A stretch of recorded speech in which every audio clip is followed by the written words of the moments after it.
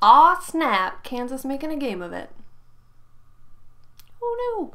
Okay, back to baseball.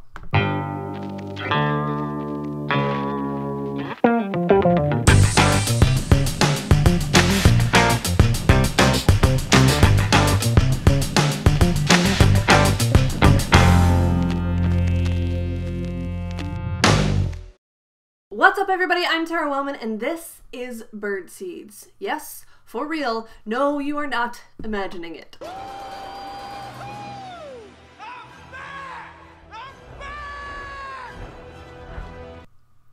Right.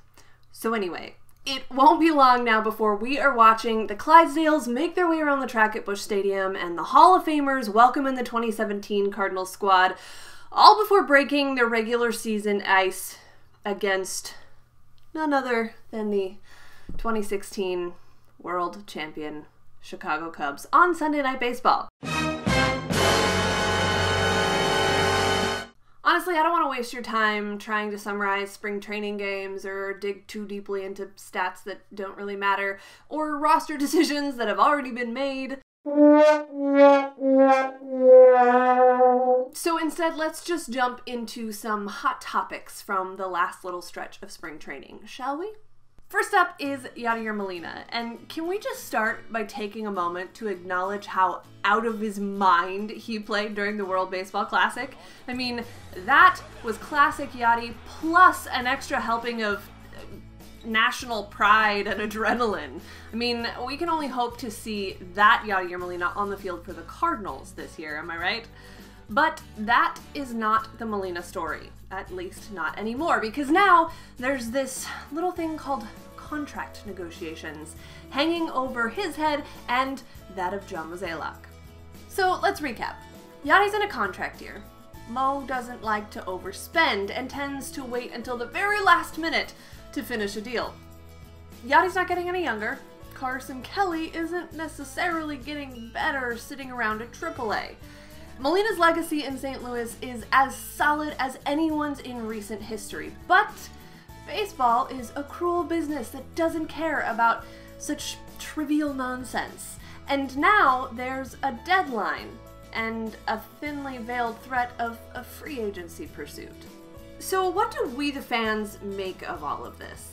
I mean, Yadi has, in consecutive breaths this week, said that he wants to be a Cardinal for the duration of his career, but that he wants to get paid. And he's not only not afraid of free agency, but that he's intrigued by it.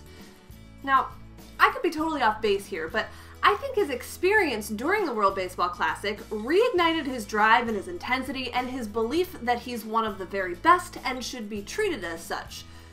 And that's great. He acknowledged that playing with some of baseball's best young stars energized him.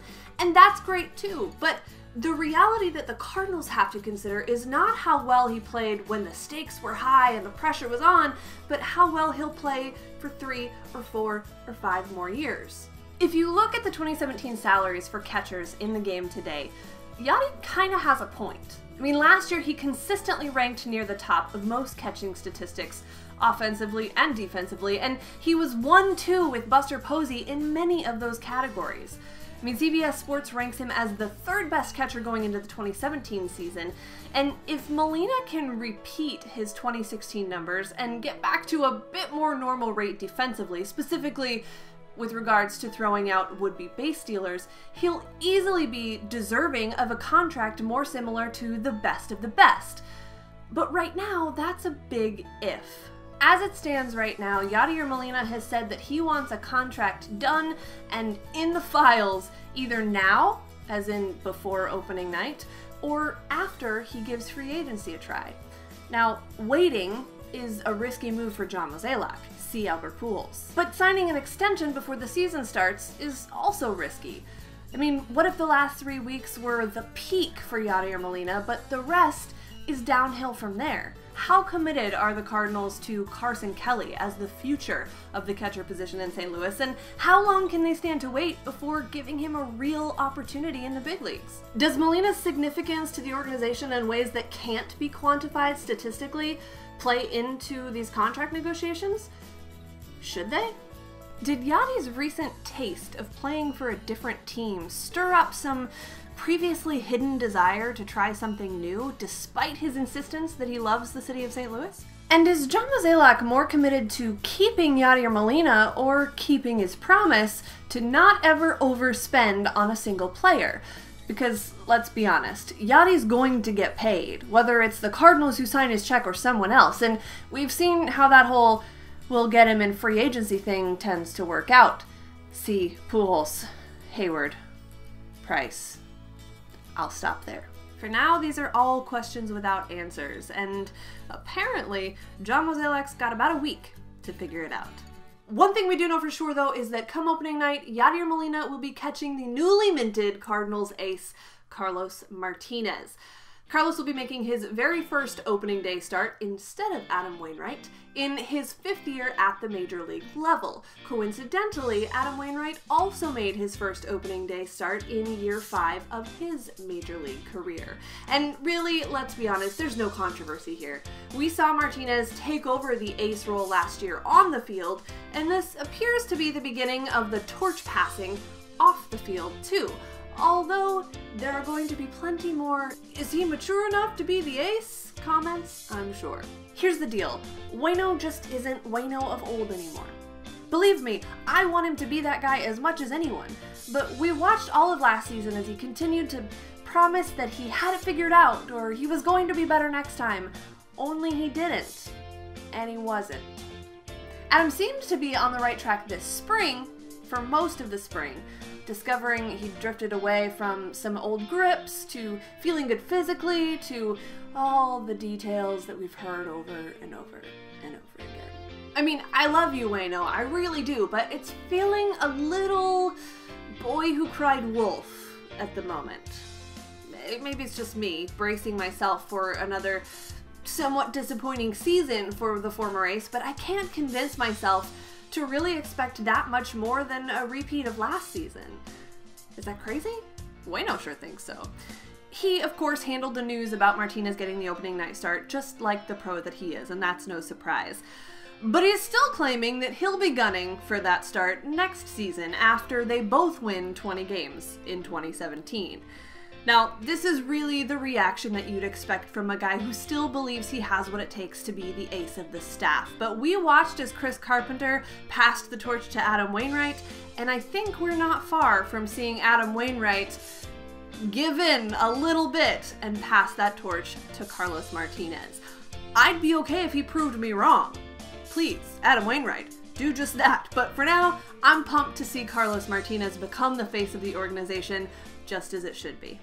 Alright, now it wouldn't be a complete episode of Bird Seeds without a Kolten Wong mention, am I right? But don't worry, I'm not here to defend his 190 average this spring. I mean, not really. I just want to point out one tiny little thing. There's been a lot of chatter about Kolten Wong and whether or not he's earned the starting job based on this spring, and I, that's all fine and well. But let's be clear about one thing. I mean, he's working yes, to become the everyday starting second baseman, but to also earn a job as the, the eight hole hitter. I mean, that's realistically what's going to happen. I'll be curious to see how he attempts to make up ground once the regular season starts because it has not been pretty. And as much as the organization seems to claim that he's their guy, they're also doing a really good job of setting up backup plans and backups to the backup plans just in case. I mean, I don't know how Kolten's head hasn't completely exploded from the pressure yet, because I'm pretty sure that mine would have. But enough about Kolten.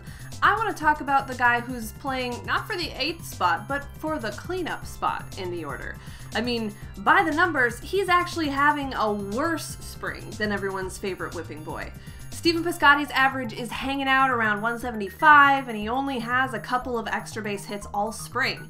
It's not been pretty either, and yet everyone seems to think that he will simply flip a switch come opening night and be just fine. Is that wishful thinking or reasonable expectation based on his past performance? Don't get me wrong, I'm not saying there isn't reason to be concerned about Kolten Wong, but I'm also just wondering if there's a little bit of reason to be slightly worried about Stephen Piscotty too. What do you think? Let me know in the comment section below. The good news is we don't have to wait much longer to find out the answer to any of these questions. Opening night, Sunday night baseball, it's all happening, and I can't wait. I'm Tara Wellman, and I'll see you next time on Bird Seeds.